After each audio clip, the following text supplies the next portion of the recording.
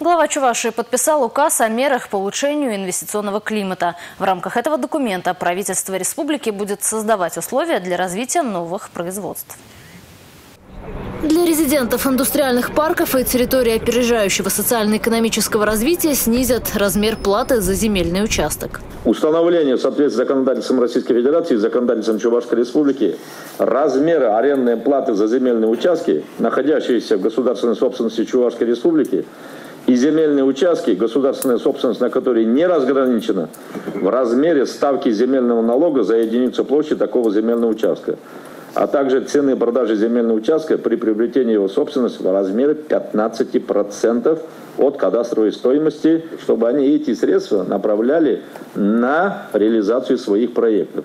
Такие меры, отмечает глава республики, должны стать стимулом для предпринимателей. От реализации проектов в индустриальном парке Чебоксары и территории опережающего экономического развития в Канаше ожидают большого эффекта. Планируется создать порядка двух тысяч новых рабочих мест.